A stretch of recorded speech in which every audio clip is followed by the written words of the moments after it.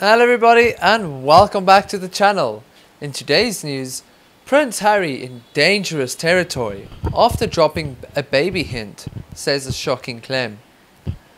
Prince Harry revealed he is hoping to have another baby with Meghan Markle at some point in the future during an interview with world famous ethologist Dr. Jane Goodall. The remark comes just a few months after the Duchess of Sussex gave birth to Archie Harrison Mountbatten Windsor on May the 6th. Speaking on Sky News, presenter Jayne Secker claimed Prince Harry was in dangerous territory after his comment. He said, We are thinking earlier in the week about Meghan and how she guest edited Vogue. As part of that, there is an interview with Prince Harry. He is talking to Jane Goodall, the well known environmentalist, and the subject of children came up. She said, Not too many, I hope. And he said, Oh, we are hoping for two.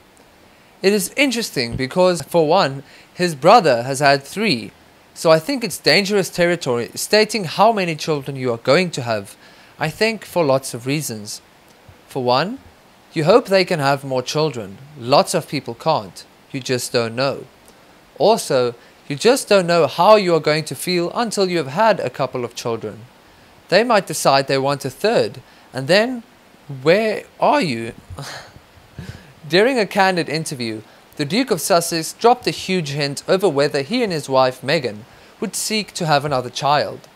He said, I think, weirdly, because of the people that I've met and the places that I've been fortunate enough to go to, I've always had a connection and love for nature. I view it differently now, without question. But I've always wanted to try and ensure that even before having a child and hoping to have children. Dr. Goodall worried about the worldwide population growth and warned Harry not to have too many babies. The Duke of Sussex, Prince Harry, replied, Two, maximum. He added, But I've always thought this place was borrowed. And surely, being as intelligent as we all are, always evolved as we are supposed to be, we should be able to leave something better behind for the next generation. During the wide ranging interview, Prince Harry warned about the risk of unconscious bias, where some may make racist comments but not realize they are prejudiced. The Duke said, It's the same as an unconscious bias, something which so many people don't understand, why they feel the way they do. Despite the fact that if you go up to someone and say, What you've just said or the way you've just behaved is racist, they'll turn around and say, I'm not racist. I'm not saying you're racist, I'm just saying that your unconscious bias is proving that. Because of the way that you've been brought up, the environment you've been brought up in, suggests that you have this point of view, unconscious point of view, where naturally you will point, you will look at someone in a different way.